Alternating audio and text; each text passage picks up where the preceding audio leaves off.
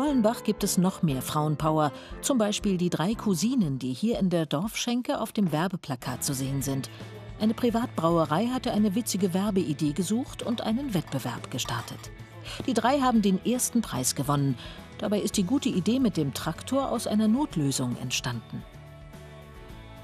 Wir hatten kein Auto, wo die ganzen Bierkasten reingepasst haben. Und dann hat äh, der Ellie, ihr Papa, die Idee gehabt, fahr doch einfach mit, dem- mit dem Bulldog und macht den Hänger hinten dran und macht die Kasten da drauf. Ja. Und, So haben wir es dann auch gemacht. ja. So zufällig entstehen eben manchmal die besten Motive. Die Botschaft der drei jungen Frauen so einfach wie überzeugend.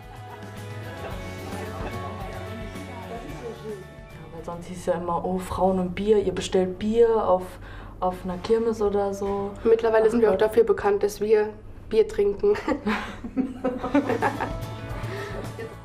Die Männer in Bollenbach sehen die geballte Frauenpower wohlwollend und nehmen es gelassen.